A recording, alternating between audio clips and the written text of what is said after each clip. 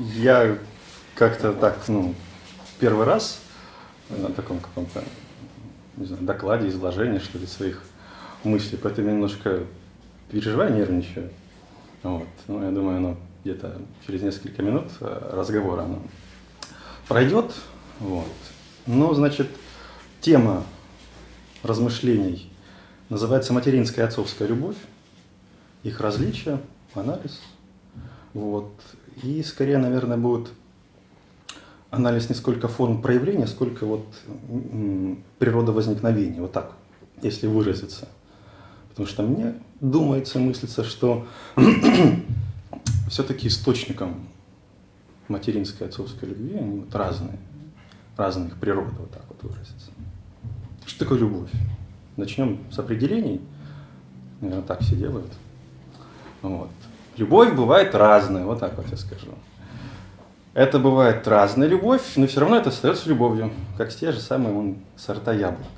Бывает любовь, э, влюбленность, эротическая любовь, эрос. Бывает любовь, дружба, филия. Бывает божественная любовь, агапы. Бывает любовь родительская, сторги. Это я благополучно списал вот, из Википедии про то, как греки называли любовь. Вот, и все это, конечно, составляет эту самую такую межчеловеческую часть отношений, но в данном рассуждении под любовью будет подразумеваться желание участвовать в жизни другого. Вот это вот самое родительство, которое есть участие в жизни ребенка, в своем таком вот неком абсолютном выражении, будет рассматриваться как любовь забота, э, опека, поддержание жизни, помощь, воспитание и наказание – все есть вот родительская любовь. Ну, все-таки к ребенку только, да? Когда, в данном случае... Когда у тебя в законе поддерживает порядок в колонии, это не совсем не означает, что всех остальных любят. Ну, конечно. Просто это, это, это к тому, что да, Анатолий знает, желания. А, Анатолий э, черный психолог.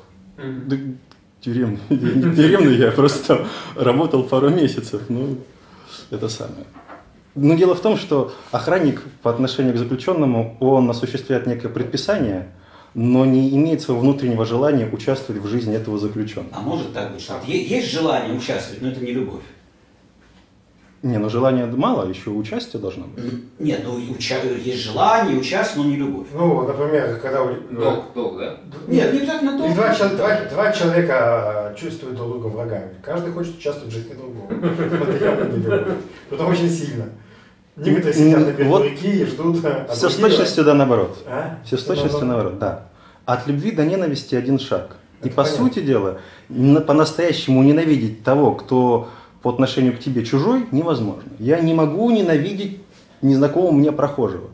Поэтому, если я вступаю в ненависть с кем-то, то у нас есть вот это вот самое некое внутреннее такое вот, ну не знаю, можно даже как-то выразить такое, что-то некое экзистенциальное отношение друг к другу. Вот, вот это вот оно и есть. То есть, когда люди ненавидят кого-нибудь там евреев или монголов, кацапов, Может? на самом деле они их любят. Может? Не, ну нет, когда они ненавидят абстрактных евреев, они не участвуют в их жизни. Они вообще никак как бы ну, очень хотят. слово желание не, ну, не, хочу заменить, что очень хотят участвовать. Ну, можно заменить на участие. Нет, в том-то и дело, что именно а, скорее всего, в любви есть некая необходимость, не просто желание, а когда ты не можешь не участвовать. Нет, ну, понимаете, тут речь идет о том, что у тебя есть такая направленность, можно сказать, интенция, вот, желание. Но не всегда любовь. А, ну, что, что, как бы ты своим существованием на это направлен, вот на жизнь другого. Да. А уж как это проявляется? Так может проявиться по-другому. Поэтому это называется желанием, а не так, что, понимаете, ты привязан к нему. Чисто терминологический вопрос. То есть, если мы называем желанием, Э, участвовать, значит, все желание, все, что не подпадает под него, называется любовь. Если не подпадает, значит, нужно менять определение. Александр, все бы это было бы правильно, все это было хорошо, если бы у нас любовь была как некий самостоятельный объект, который можно было бы вот так вот вынести за пределы человеческого переживания, на него посмотреть со стороны, измерить линейкой. И тогда, да, вот если оно квадратное, тогда мы будем в определении писать квадратное, а не просто там какое-то форменное. Нет. Речь идет о том, что, скажем, э, вот я могу э, некое свое желание участвовать в жизни другого определить как любовь, а некоторое мое же желание в другого, другого человека участвовать могу для себя не любовь.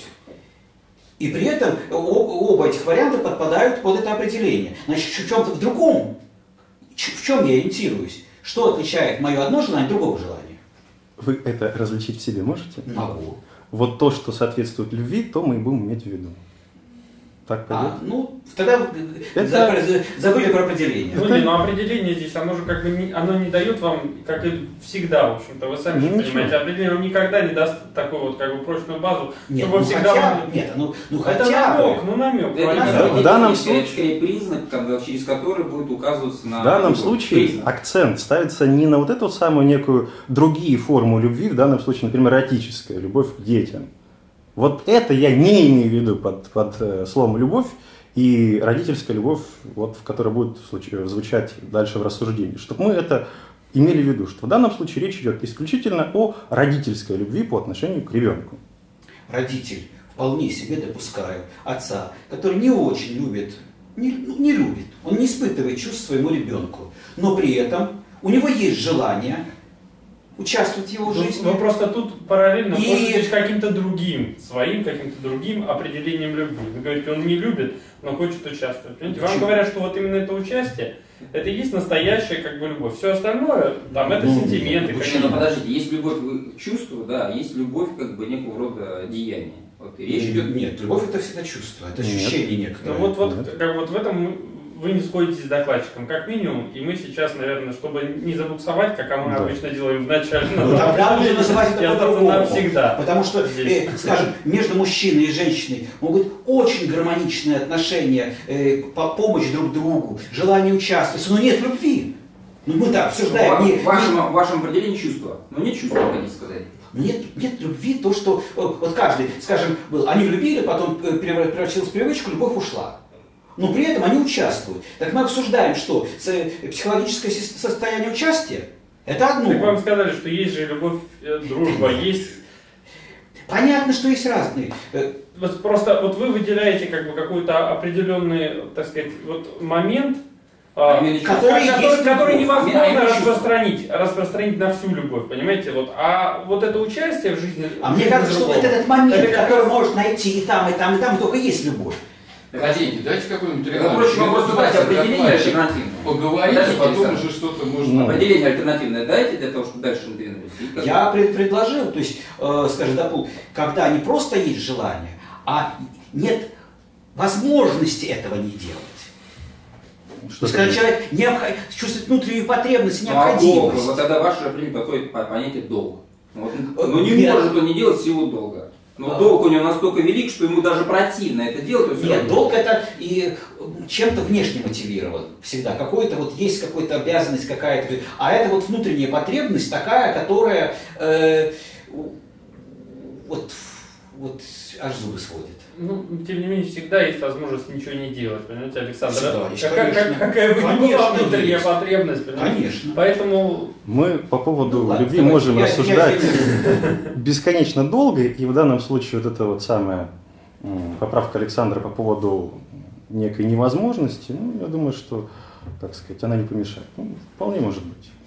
Я этого ну, не отрицаю, да, пусть будет так. Это лишь начало. Ну, пойдем дальше. О том, как проявляется материнская и отцовская любовь по отношению к ребенку. Они имеют, это любовь и забота имеют разные формы, разные смыслы, разные содержания. Разница между миром матери и миром отца, вот это вот как бы такой следующий пункт. В данном случае я буду ссылаться на работу гуманиста Эриха Фрома, который занимался как раз таки именно любви. Вот. И он дает такое вот определение.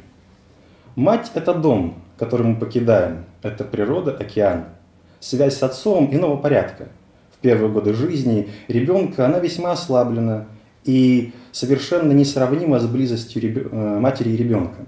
Зато отец выражает другую сторону человеческого существования – и на той стороне разум, рукотворные вещи, порядок и закон, освоение новых земель и приключения. Отец – тот человек, который вводит ребенка в большой мир. Младенцу необходима безоговорочная материнская забота, физическая и психологическая. Но после шести лет ребенку нужна отцовская любовь. Это авторитет и руководство. И вот тут вот есть такой вот некий водораздел, потому что мыслить э, мать и ребенка по отдельности друг от друга мы, конечно, можем, но мы прекрасно понимаем, что младенец на неком своем этапе развития, он неотделим от матери, они являются собой некое такое самостоятельное целое, в то время как, как отец ну, где-то в стороне. Потому что в первые дни существования, вообще в принципе, если уж так как бы говорить, сама природа вот так вот, или сама форма э, задает то, чтобы взаимоотношения между матерью и ребенком, вот они как бы складывались в некое единое целое. Это и синхронизация ритмов после родов, это и выброс определенных гормонов, вся нейрофизиология. Даже такой момент, э, как отсутствие у ребенка при рождении э, способности к аккомодации, зрачок не может наводить фокус резкости на объекты – он как бы настроен на примерно приблизительно расстояние, ну где-то сантиметров 40-50. Для того, чтобы когда мать кормила ребенка, он, глядя вот так вот снизу вверх, четко видел ее лицо. Так э, задается вот эта самая привязанность и узнавание ребенком лица матери. Вот такая вот тонкость. Так что все вот как бы вот этот вот такой биологический мир, он направлен на поддержание вот этого единства. Потому что, как млекопитающие, вот у нас дети, они не могут самостоятельно поддерживать с рождения свое существование. Поэтому вот это вот обуславливается такими вот механизмами. Материнская любовь – это безоговорочная любовь. Это любовь, не требующая в себе никаких э, условий она есть, она должна быть всегда, вне зависимости от того, какой ребенок. То есть это инстинкт просто? Нет, нет. А, это такая форма. То есть, грубо говоря, мать должна любить ребенка вне зависимости от того, какой ребенок. Грязный. А которые не любят, это что за такие? Ну, это уже как бы не касается данного изложения, потому что мы рассматриваем в неком абсолюте, что так как бы следовало бы быть. Есть, конечно, сдвиги, есть разные акцентуации, и есть и матери, которые бросают детей и так далее, но это немножко другой разговор. Вот отцовская любовь по, по сравнению с вот этим самым является, наоборот, условной. Отец любит за поступки, за дела, которые совершает ребенок. Если э, мать – это безопасность и покой, в зависимости а, от условий вот этих самых первых дней существования ребенка и от отношений, которые мать будет э, осуществлять по отношению к ребенку, закладывается то самое некое базальное доверие миру. Мир есть благо, мир добро, мир хорошо. Если мать не будет откликиваться на запросы ребенка и задерживать, э, скажем так, его удовлетворение его потребностей, мир тогда становится опасным, несущим некую фрустрацию зло. Отцовский мир – это мир ответственности обязательств, закона. Добро, зло, порядок, что можно, что нельзя. Мать обеспечивает любовь к жизни, к бытию. Что вот этот мир есть некое благо, что он хороший, что жить есть некое э, добро. В то время как отец вводит в мир вещей и предметов. Как ими управлять, что ими можно делать, творить. Мать – это мир чувств. Я тебя люблю, потому что ты мой. Потому что ты есть. Ну да, что еще могут ответить маму? Это обозначает, что как ребенку не нужно ничего делать, чтобы, чтобы эту самую любовь иметь. Достаточно просто быть. Материнская любовь уже прилагается. Но антитезис. Я ничего не могу сделать, чтобы эту самую материнскую любовь получить. Она априорна. У отца все наоборот – я тебя люблю за поступки. Поэтому э, тезис следующий. Если я что-то сделаю не так, я лишусь отцовской любви. Любовь за поступки немного какой-то там, там, там странная любовь. Это любовь за качество, это поступки. Вот это слово, которое условно, не условно. То есть любовь всегда безусловна. Если есть условия, то это не любовь. Нет.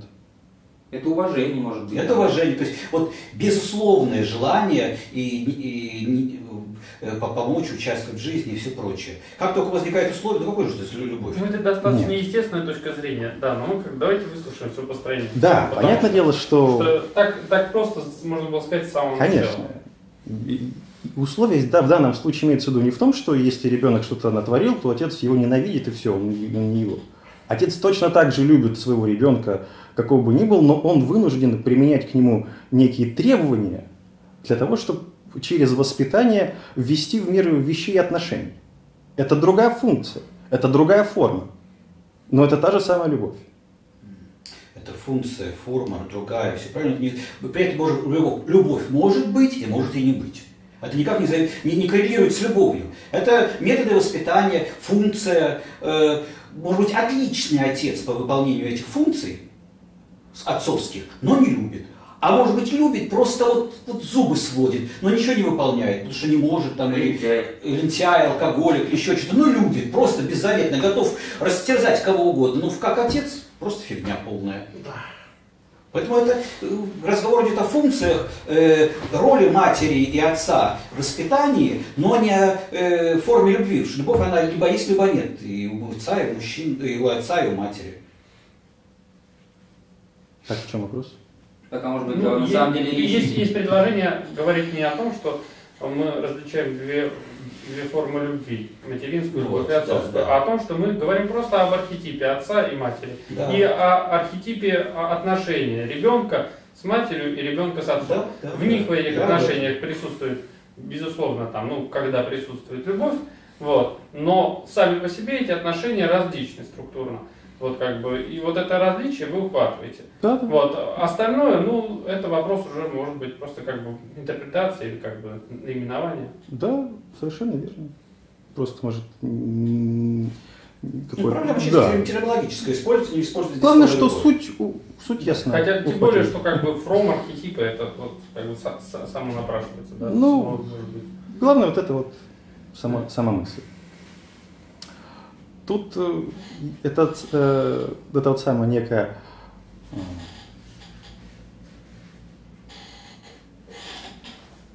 вот это самое архетипическое разделение вот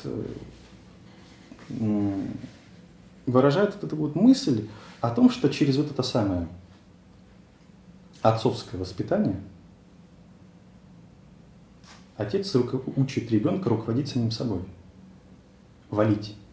А вот еще такой вопрос, а мальчик и девочка, это же, наверное, разное участие матери и отца. Там, ну, понятное дело, что отец учит мальчика и, и попустения никаких. Ну, когда мы занимаемся когда девочка, Нет, когда мы занимаемся философией, конечно, всегда мальчик. Ну ладно, ты же понимаешь. Ну, просто представь себе, как отец воспитывает в смысле ответственности девочку. Это не очень. Но девочек никогда в философии нет. Мать есть, девочек нет. Ну, есть только некоторое смещение. Нет, я бы сказал так, что всегда, если девочка, то участвует больше мать, а отец как бы, ну так, сбоку с припеку так помогает. И наоборот, когда мальчик как бы все смещается в сторону отца. А Нет. мама уже там как Да, так есть. Потому что когда есть мальчик как наследник, который, который является неким преемником всего того мира, накопленного багажа знаний, которым является отец, он ему, естественно, этот багаж передает. Свое имущество, свою империю, свое, не знаю, там, племя, если это какой-то вождь. Поэтому, естественно, он должен его воспитывать, как, грубо говоря, как второго самого себя. Если эта девочка этим занимается Не, просто мать. есть отклонение, когда отец воспитывает девочку, точно так же, да. как мальчик, и девочка становится просто вылитым мальчиком. Ну, по своему поведению. Не становится. Ну, по своему поведению, по своим там этим... Лишь отчасти. Ну, не становится у него возникает какая-то жесткость, какая-то возникает ответственность и прочее. Нет, ответственность может возникать. Нет, на самом деле, мы живем, мы, я, я предполагаю, что мы сейчас живем в мире, на самом деле, где э, очень много мальчиков, которые воспитаны женщинами, и они на самом деле имеют как бы такую женскую структуру там, характера, и в принципе нежные какие-то такие вялые. Вот это надо. И наоборот, если много вот девочек... Ты немножко забегаешь вперед, кстати. Давай вот как бы рассмотрим, да, а потом уже будем говорить, что происходит, когда нет одного, нет другого. Это же как бы я думаю, Анатолий сам скажет об этом в какой-то момент, там, может быть. Дайте автору хотя бы минут 20 высказаться. Да, нормально.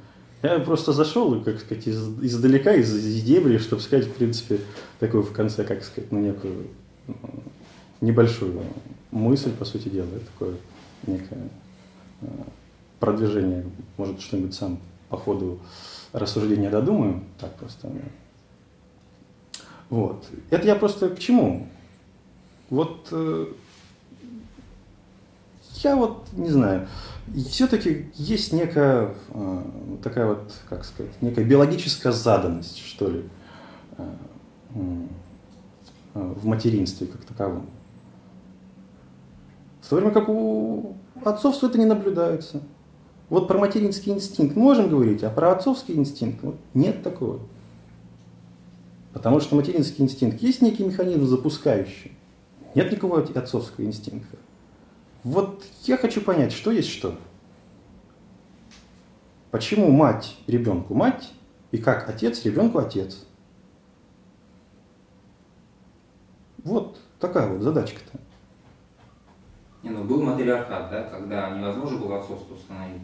Все это да. устанавливали по матери. Да. А отцов было много, как бы там, да. говоря, там, все да. племя, да, мужское там. Совершенно верно. Вся мужская часть. И, в общем-то, они все вместе были отцами.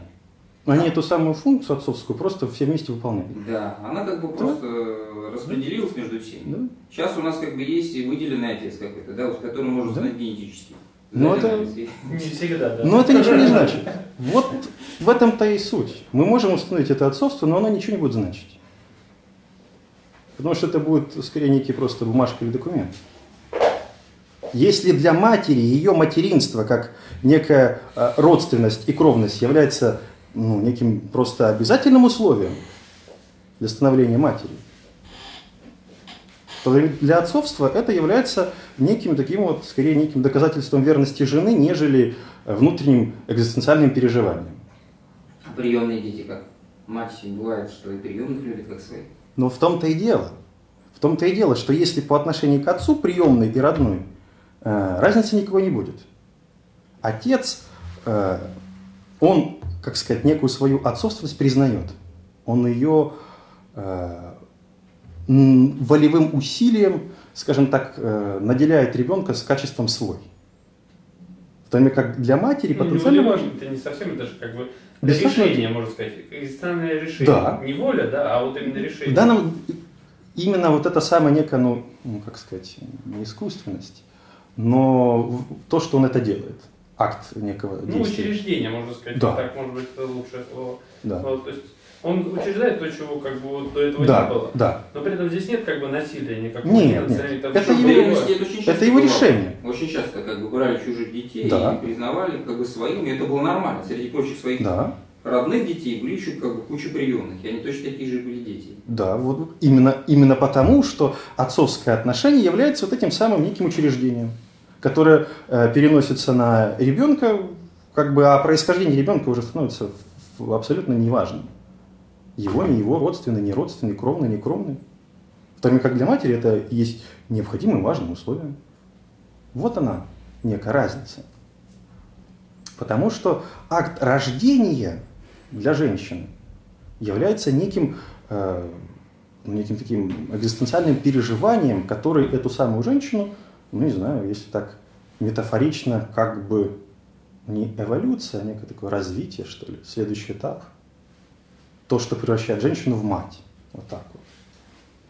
Поэтому не родившись, она может выполнять материнские функции, любить, но это будет не мать.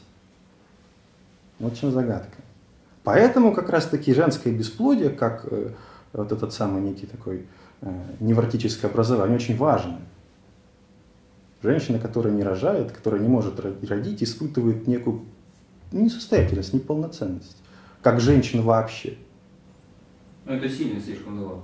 Ну, возможно. Потому что это как бы говорит не просто тогда о женщине, что она неполноценна, а что человек неполноценный. Потому что женское счастье у женщины это просто входит в состав ее личности. Она чувствует ущерб да. своей личности, что ли. Да. Ущерб вообще всего своего бытия, если так можно выразиться. Не, ну просто же есть же женщины, которые выбирают там, там да. Карьеру, там, да, угу. успех, там, ну, целенаправленно, то есть у них есть решение волевое, как вот недавно говорил, да, там, чтобы быть именно личностью, а, а не рожать. Потому что рождение у них связано с пилотками, как бы за какой-то вот этот э, ерундой, да, как, в котором как бы те крушение да. все его личные И там, тогда женщина начинает, мечты. Тогда женщина начинает жить в мужском мире. как мужчина. В карьере, э, в работе, в, без вот этого самого э, Нет, просто есть тут дискриминация, получается. Если ты женщина, женщина, у тебя твое место у плиты, как бы, ну, Нет. как бы ладно, плиты отбросили, твое место около ребенка. Нет. И нечего тут мечтать о каких-то там успехах и так и прочее. Нет, почему дискриминация? Но это дискриминация такая, по, по факту, как бы, это сексизм называется. Что ли. Разве полная дискриминация? Вы говорите так, что будто бы, э, как Это сказать, Анатолий это придумал. да. то, что женщины рожают детей, это, ну, как сказать, не, не выдумка, это не дискриминация, так устроена жизнь. Ну, теоретически, может, детей было пробирках Может. рожать. Можно Ну вот в том-то и дело. и- Вот в том-то и дело, что когда возникает вопрос о том, почему детей, грубо говоря, нужно рожать, а не брать в магазине, то по отношению, вот как бы этот вопрос не разрешается. Можно было бы детей брать в магазине, в любом детском доме, пожалуйста. Да. Можно? Не, ну можно было просто плодить их где-нибудь в инкубатор, а потом Да. раздавать кто хочет. Да. И все, проблем нет. Но почему-то для женщины важно именно самостоятельно родить. Не, ну тут еще важный момент, что на самом деле роды это же огромная боль, да? Да. И кусок бытия Именно. женщины выплевывается, да, и начинает жить самостоятельно. Вот, вот в этом-то и дело. Женщина порождает это самое, нечто, которое потом начинает самостоятельно жить. И в этом, мне кажется, в акте вот этом самом порождении есть некая такая вот, ну, не знаю, что ли, природная какая-то иррациональность, что ли, в желании этого. Почему Природная как раз рациональность. Именно природная. Нет, рациональность имеется в виду как некое э, разумное э, такое, мыслимое что-то. Сейчас будем опять в, в определение плавать. Да. Ну, имеется в виду, что пробирки достаточно рациональны, понимаете, вот как бы Да. брать... Нет, Вот. это А- со- социальная рациональность и природная рациональность. Ну. Вот мне э, щелкнуло, что э, социально рационально в пробирке, а Да. природно рационально, конечно, так, как устроила природа. Ну тогда социально и иррационально, что ли.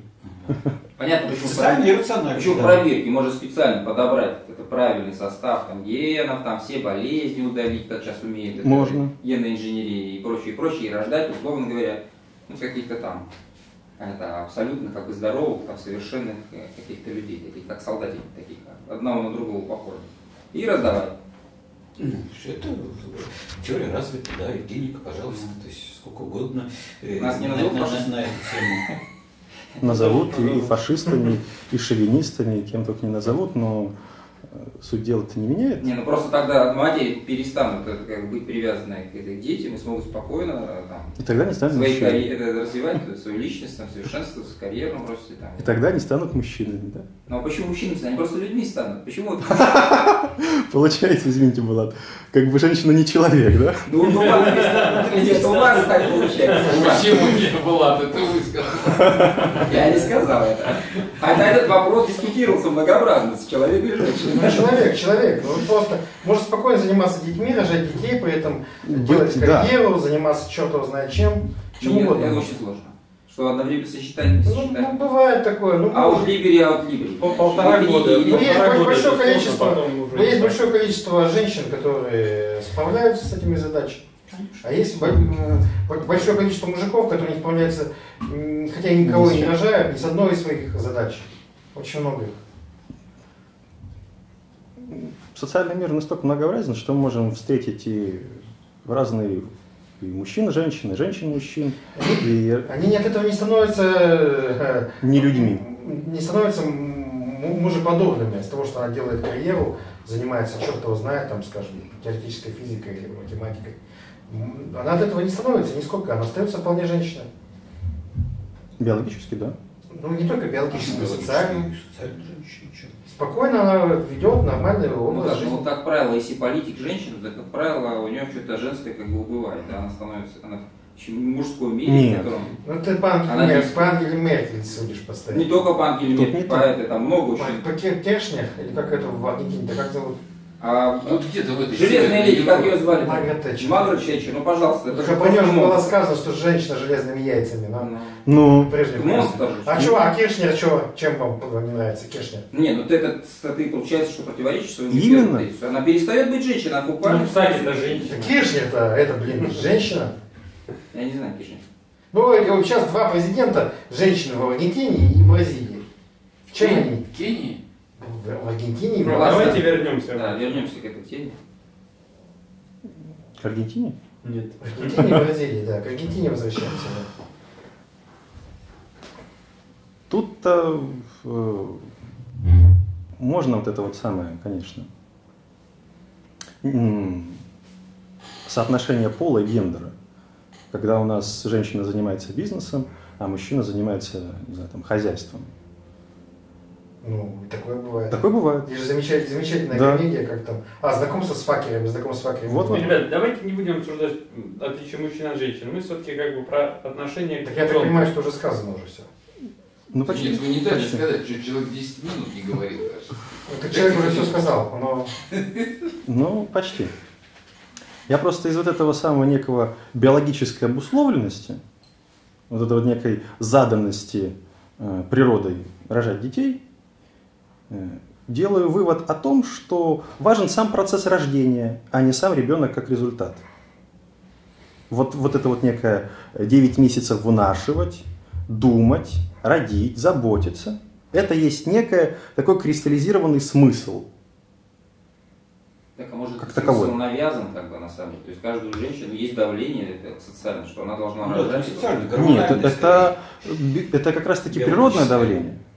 Потому что если бы это было социальным давлением, тогда ну, можно было бы просто взять. Ты должна иметь ребенка, хорошо, я пойду возьму и не буду 9 месяцев мучиться. да, а у, а у мужика, там, начиная с 16 лет, примерно так до 30 с копейками, 95% в мысли посвящено только сексу. А, Да. а мозг думает, а И- все остальное 5%. И это всегда рассказывает про себя, когда про мужиков. Как же ты защищался? это- Все остальное 5%. 5% вот Я был, я был гением, мне хватило 5%. Моего мозга. Так, я опять, я опять сбился. А, так вот. А, необходи... а вот этой самой важности самого процесса. Мне кажется, что, этот, э, что сам процесс важен. И заменить его просто фактом выращивания ребенка в пробирке невозможно. Не, ну можно как, на самом деле, на- навести как- как бы какой-нибудь гипноз, да, сказать, прошло 9 месяцев, у вас родился ребенок. Ну, если только так. гипноза вывести и Ну, ребенка дать. Если только Потому что так. Там вся- все эти гормональные циклы, и все это завязано настолько крепко, что никакой гипноз э, это не позволит Ну и что, ну завязано, завязано. Ну это же, ну, надо же доказать, что это настолько трагично и радикально меняет жизнь женщины. Надо же доказать это, это же Ну да, это меняет жизнь женщин, но не человека. То Ну. есть, пол- вот вопрос только, э, насколько э, этот человек, который не будет уже рожать, э, будет женщиной, ну, наверное, то есть, скажем так, будет ли она ощущать себя как женщина и будет ли страдать от того, что не родила? Вот этот вопрос. Наверное, самый главный, да? Да? Но это похоже на то, как человек, допустим, мужчина, да, книгу не написавший, будет постоянно страдать. Вот книгу он не написал. Ну, дело в том, что не каждый мужчина должен написать Не, ну, книгу, условно. а женщина каждая должна Ну родить. хорошо. Я имею в виду аналогии, аналогии. Ну, В таком случае, Булат, аналогия, если писатель, допустим, да. вот писатель, А мыслящий писателем, Что должна? не написавший книгу, вот Но он она в природе должна. понимаешь? Вот, быть. вот предна- предначертано ей вот биологически это. Мужику ничего не предначертано. По, по Есть большое количество женщин, которым би- биологически не предназначено рожать. Да, нет, ну есть, конечно, исключения. А это так? Ну так, А, биологически. Генетически лучше говорить. почему генетически? Биологически. То есть, Ну, отклонение в состоянии физиологии, здоровья. ну, у нас отклонений и здоровья и болезней в Давайте, мы сейчас не обсуждаем как бы отклонение, опять же. Вопрос шел, как бы берем какую-то здоровую Женщине предначертано рожать. В своем рождении женщина, в, в- в- в своем акте вот этого рождения ребенка, женщина продлевает себя. Как сказать, размазывает себя по полотну бытия жизни. Да, да. А а Выходит в свои пределы. А мужчина во время полового акта тоже всякий раз Да, поддается. это- И, И только- про и только- себя рассказывает. Кто, как размазывает? Люди по-разному. Кто-то книги пишет, а кто-то Да. размазывает себя в половом акте. Скользким пятном где-нибудь на Ни простыне. разу Да. не размазался. Нет, я про то, про то и Я говорю. когда совсем другим занимался. Я то и говорю, да, что не размазывают. Тут мужчина почему-то не размазывает, а женщина размазывает. Почему это интересно так? а? Ну, не знаю. По бытию, да. Просто мужчины придумывают какие-то теории, да, чтобы как-то потом продлить себя, там, типа там, Да, чтобы, чтобы оправдать, философские свою, системы. оправдать свою невозможность рожать, да, знаю. Да, да, да, именно так. Они рождают по-другому, да. Да, что весь мир, вся культура придумана мужчинами, Мгм. чтобы оправдать невозможность рожать. Да, мы это слышим. Такой это, глав- главный тезис феминизма. Есть такое. И теперь, Который взят у Ницше. Который тоже был феминистом, да? Тут-то ключевым является что? Вот если этот самый акт является биологически заданным, тогда ребенок как некий самостоятельный живой субъект здесь не важен. Важна его принадлежность к тебе, как к женщине, его родственность, кровность, то, что он вышел ну, из тебя, грубо говоря. А то, что он является неким самостоятельным, где-то гипотетически в будущем развивающимся человеком, это не важно. Кроме как для отца это единственное важное, что может иметь какой-то либо смысл. Ребенок как субъект, наделенный э, Потому что какими-то... женщина не бесконечно не рожает, если ей важно только вы- это выбрасывает. А просто родив один, Ну, раз долго нянчится. Ну, исторически так и было, бесконечно рожали. Мы просто, как сказать, есть некие социальные и исторические поправки. Но в принципе так и было. Не, просто есть у, у фильм ужасов, где как бы монстр какой-нибудь, так, а прям падает, так, вкатываются такие да. шарики. И просто все, и стоит, и больше ничего не делает этот монстр. Только рожает. Отцовский уровень, да. Ну, здесь есть такой вопрос еще. Если усыновление идет э, практически младенца, э, то я не думаю, что женщина чувствует себя чем-то ну, ущербнее. Ну, Так не То есть материнский инстинкт выражается вот не только сам в самих родах, но и в воспитании. То есть она, в- то есть мы как бы я не, не знаю таких историй, что вот если не свой, то значит она страдает, она не выполнила свой долг, она э, нет, она воспитывает ребенка также и чужого. Так не И разницы э, какой-то Даже в природе такое есть, кстати, у животных. у животных, да, воспитывают. Прямо детей. кормят чужих. Да, да, да, да. Есть. Собачка воспитала чужого тигренка. Тигренок. То есть речь идет именно, что не- э, для женщины, то есть есть, есть не, не только инстинкт э, и ощущение самих родов, и вот, вот чисто этот э, акт э, там э, гормональный, как физиологический, э, но и материнский инстинкт именно воспитания, А, а есть, а есть, кормления, а воспитания. есть, которые быстренько родили, быстренько Да. по, покормили. И один- про. Один разик, ну да. И сдали в дом, что, нормальная тоже ситуация.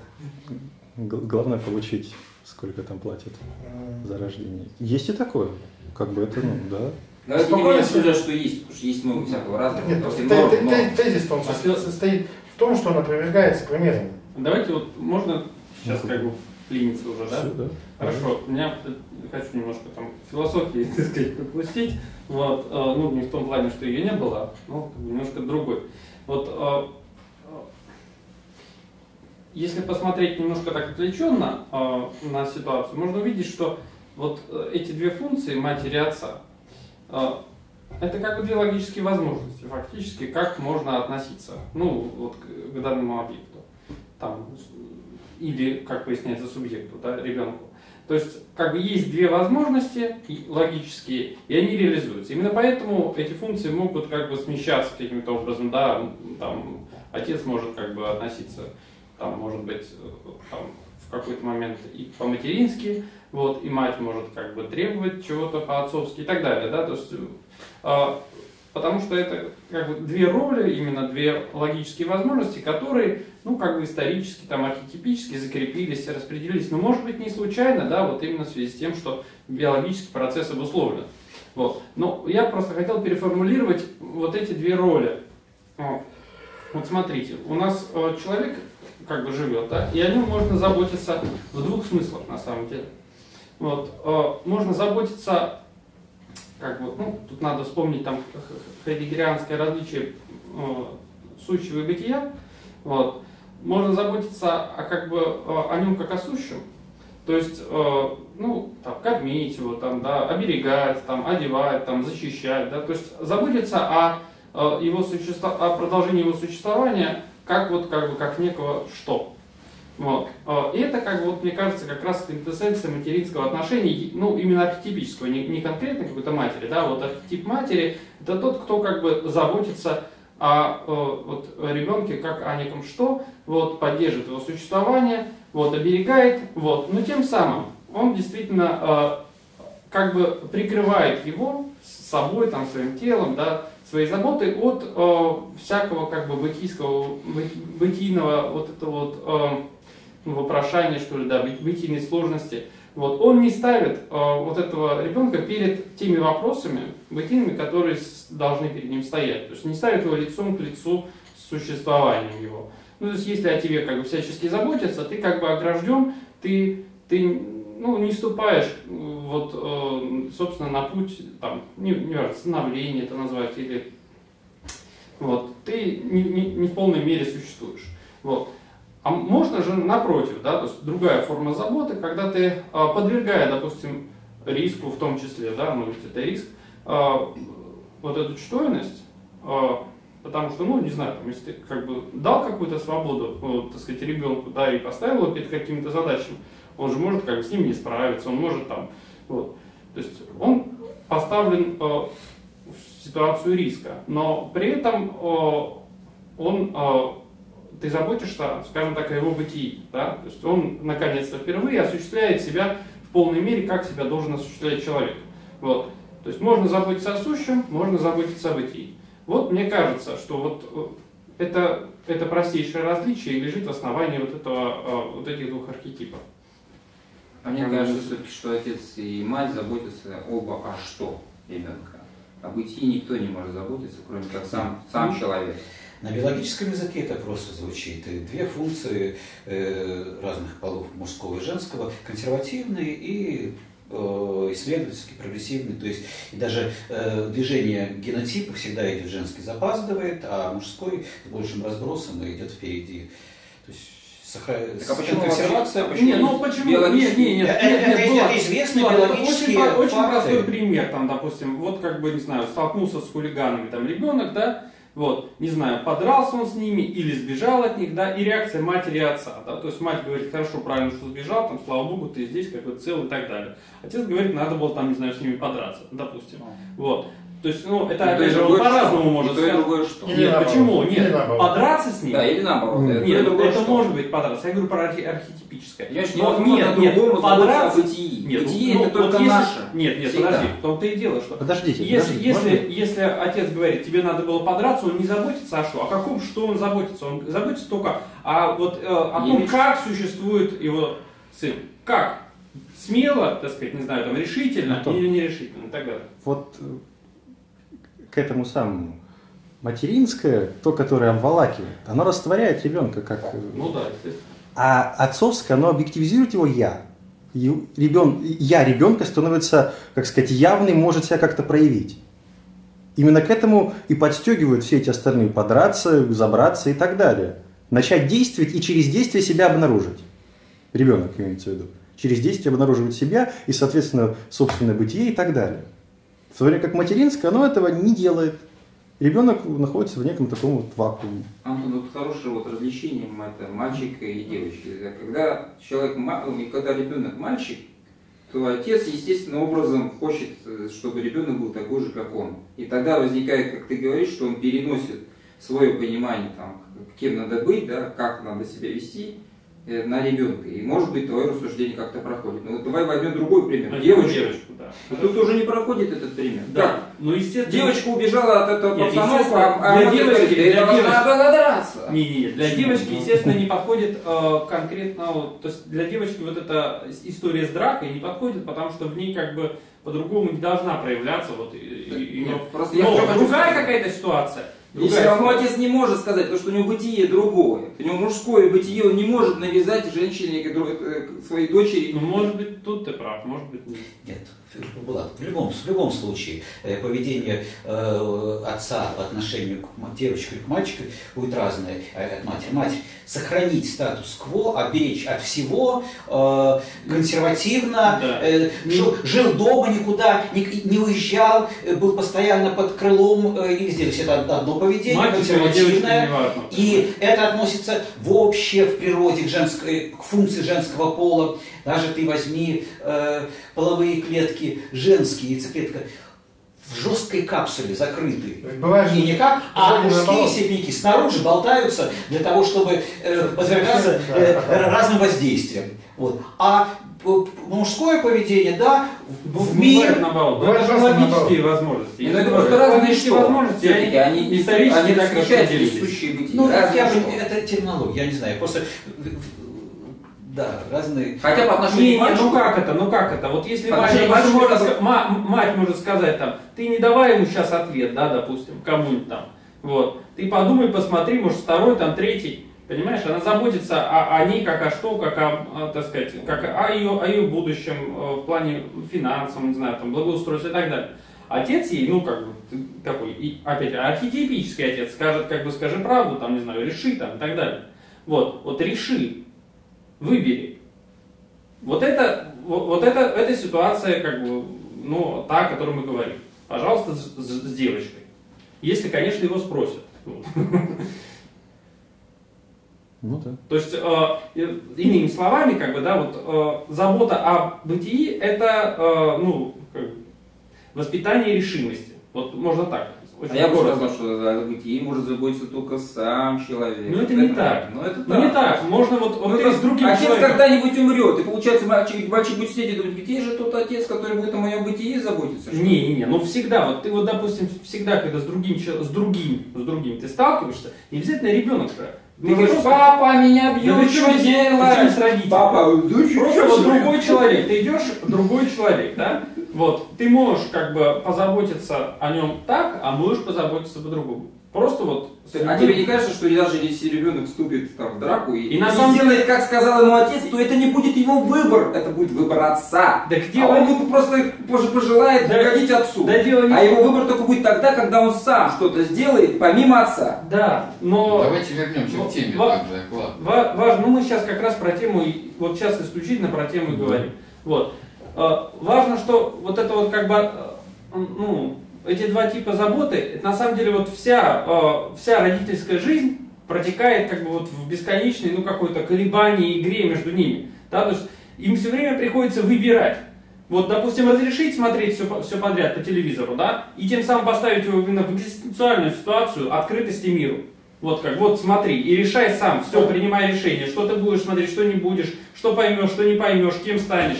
Либо ограничить его, решить, что это тебе еще рано, это рано, это рано, это родительство, это материнское. Понимаешь, это забота о сущем. Вот постоянно идет... А, то есть э, отец говорит, пропадай в воду так и плыви. Как Да, он да, говорит, да. Это неправда. Ну, так- ну, да, так и нет, делается. ребята, Ну что вы там. Ну, конечно. Естественно, Ну, если- как бы отец, Э, сколько это- того, что мы говорим, что это отец разумный, разумная сторона, он понимает, что есть определенного рода возраст, которого можно ребенку позволить Ну, что-то делать. Естественно, но я же говорю, идет игра, понимаешь, вот это есть два полюса, и мать никогда не бывает такой, как бы, вот, абсолютной матерью, которая, как бы, ограждает от всего. Она же тоже не... а- очень консервативный и Да. прогрессистский, то есть Но напряжение всей вот этой родительской жизни, и семейной жизни, да, и воспитательной жизни, оно происходит между этими двумя полюсами, вот как бы колеблется. Вот. А мальчика бьют, это как к чему относится? Мальчика бьют. Кто? Прекрасный вопрос. Спасибо. Живет на маму папа, что когда его бьют? Ну, мальчика бьют, это что означает? Это просто есть целая проблема такая психологическая, что мальчика бьют. Ну, наверное, это тема следующего доклада. Ну ладно, расскажем. про избитых мальчиков. К вопросу о том, том самом выборе, который делает ребенок и так далее. Вот через преодоление себя, преодоление трудностей к выполнению каких-то обязательств, которые приучает отец, ребенок учится валить, что-либо делать, выражать свои Ну, желания и их осуществлять. Че? Девочку любит валить. Ну да, очень много девочек. Очень много вижу девочек валящих. Да. Исключительно. По эволюционной теории пола э, Геодокяна, это значит а, э, консервативный и операционный. Две функции. Операционная функция и консервативная. Мужская и женская. Решение каких-то проблем, э, поиск решения проблем, э, научение решению проблем и наоборот. э, консервация, оберегание, сохранение. Вот. Ну, это переброс на, на воспитание, а так это вообще в природе заложено между двумя полами распределение генетическое. Ну все. Все-таки, мне кажется, очень важно было провести вот эту линию, что мальчик и девочка по-разному воспитываются. Ну, телевизор-то они А по-разному. По- Вот вопрос, вопрос, пускать ли к телевизору? Идеальный, как бы, идеальный Вот, Влад, я отвечаю. Мальчик, девочка, не важно. Влад, отвечаю. По-разному. Вот берем мальчика, мужчи, и воспитывают, и девочку по-разному. Но по отношению к девочке и к мальчике функции отца и матери одинаковые. Одна консерватив, другая операционная. Одна консерватив, другая операционная. Конечно, по-разному. Естественно, что э, те слова, которые скажет отец э, дочке и сыну, будут разные. Но функцию они будут выполнять одну и ту же. И материнская, то есть они по-разному э, скажут э, от э, до- дочке и сыну, но функцию будут выполнять одну, противоположную функции отца. Анатолий, а вы не знаете, вот почему в Советском Союзе, может и в других странах перешли к совместному воспитанию девочек и мальчиков в школах? Ведь до этого было раздельное воспитание, там, Что значит почему? ну, была ну, Было, да, было. какая-то раз- аргументация. Да, были школы для мальчиков, там школы для девочек и так далее. Ну, не знаю, может, какой-то заговор. По логике, по логике, воспитание должно быть отдельным. Почему? Ну, Не. Психика раз. Вот. Ну, это же, э, как бы, сказать, это, опять же, опять же, вы сейчас рассуждаете как мать, понимаете? Да, Вот. да, да, Вот, да. вы в чистом Андрей- виде рассуждаете как мать. Надо ограждать, как бы, да? А эти они столкнутся с, э, с Мальчики, этой разницей, да? Мальчики да. столкнутся Скажем, исторически, исторически. Разделение столкнутся. Вы неправильно. Да, это же очень интересно, ребята. Девочки быстрее развиваются, и потом где-то к классу шестому и седьмому они смотрят на этих мелких дебилов, вообще не понимают, как с ними можно иметь дело. Разница между мужчиной и женщиной исторически раньше была просто катастрофической. Есть они практически не пересекались. Мужчины воины в своем, варятся в своем соку, женщины где-то там на задворках. И с развитием э, социума, с развитием истории, они просто пересеклись. Сейчас различия функциональные. Да, встретились. В То есть, 20, 20 веке функциональное Двадцать- разделение мужчин и женщин. И поэтому стала необходимость э, поддерживать эту функциональную неразличимость уже в детском возрасте. Тогда было поддержано р- различие Ну, воспитания. Дело не в, не в неразличимости, все-таки там различимость-то есть. Но просто действительно, Так если они, если они как бы столкнутся с, с друг с другом, да, так или иначе в, в будущем, да, во взрослой жизни, то как бы есть два варианта. Либо оберегать их до этого момента, пусть они столкнутся тогда, да, либо как бы вот прям дать им столкнуться сразу. Правильно? Раньше не сталкивались вообще. Ну, сейчас да, сталкиваются. сейчас сталкиваются, сейчас выбор такой. Социальная функция мужчин и женщин сейчас э, практически не различается. Э, Не семейная, а то есть каждый может освоить любую профессию практически, да, и в каждом, э, в каждом социуме, ме- мелкой группе, коллективе есть все мужчины и женщины. Раньше четко разделялось мужской и женский коллектив. Вот, и поэтому, э, естественно, было и воспитывать так же, как и Так вы против совместного воспитания, да? Нет, я спросил, вот человек сказал, что я психолог, да, вот я и спросил, что, а вот знаете ли вы, чем, чем это Да. обосновано? Ты же психолог. Товарищ сказал, что я этим вопросом не занимался. Нет, я Ну, это вопрос, Возможно, не- заговор. это вопрос не психологический, Это- конечно. Почему это психика? Это не психология, это социальный вопрос. Нет, ну еще раз, это значит у каждого индивидуума на Я думаю, этапе чисто развития политический вопрос. есть определенные- Социально-политический. Идеологически, я бы даже сказал. Ну, потому что в какой-то момент там принимается 20-е годы коммуны были практически. Воспитывая мальчиков 20-е среди мальчиков, получаются мальчики. Воспитывая всех вместе, получаем то, что имеем сейчас. А можно девочку воспитать мальчиками и мальчика воспитать девочками? Все можно. Воспитать можно кого угодно. попытаться, попытаться можно. Конечно. можно. Не получится. А результат? Почему не получится? А что, что получится? Получится. Ну, гормон это гормон. Ну что, амазонки же были, которые воевали. Ну, это же стороны. легенда. А с другой стороны, Шварценеггер же рожал в фильме. Вы что-то там оклеветали Шварценеггера. Известный фильм. Как, как, как можно, как можно Да. не событие. смотрел. Это исторический факт, да? Конечно. Хорошая э, шутка была в 7 кадров. Значит, ну что за закон? Значит, э, бракосочетание дворец, э, подходит пара, мужика вот так, и она, все, хотите ли вы, да, хотите, признаете, не признаете, в, в любви и счастье. А, ой, кто же так сообщил?